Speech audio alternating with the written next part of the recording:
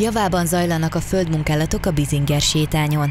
Itt egy kuriózumnak számító játszótér fog megvalósulni, aminek az ötlete a szomszédos Ausztriából származik. Mi az unokákkal sokat járunk eh, Magyarországon is, illetve külföldre is, és a feleségem, én, meg az unokák egyszer kim voltunk Kruszba, ott van egy hatalmas nagy, úgynevezett Merchen Park, vagy Family Park, és ott láttuk ezt a vizes játszóteret, ami nagyon-nagyon tetszett, egy nagyon kultúrát, és nagyon-nagyon sikeres és népszerű. A játszótér lényege, hogy a gyerekek különböző vízzel kapcsolatos játékszerekkel játszhatnak, méghozzá úgy, hogy közben a víz útját maguk irányítják, a játékokat ők üzemeltetik. A gyerekek tudják szabályozni, hogy merre folyjon a víz.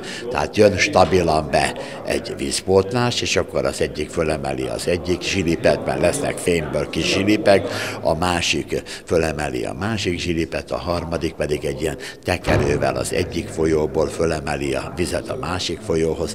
Tehát ebben az a jó, hogy nem csak ott ülnek a gyerekek, hanem ők saját maguk tudják irányítani a vízfolyást. A másik dolog, hogy van egy ilyen kiskakas szökőkút, aminek meg szintén ők úgy működtetik, hogy ráállnak egy ilyen, ilyen pumpa félére, és ahogy nyomják a pumpát, úgy fog kijönni a víz belőle. A játszótér a tervek szerint július elejére elkészül, és ha minden jól megy, akkor a Györköt Fesztiválon már birtokba is vehetik a gyerekek.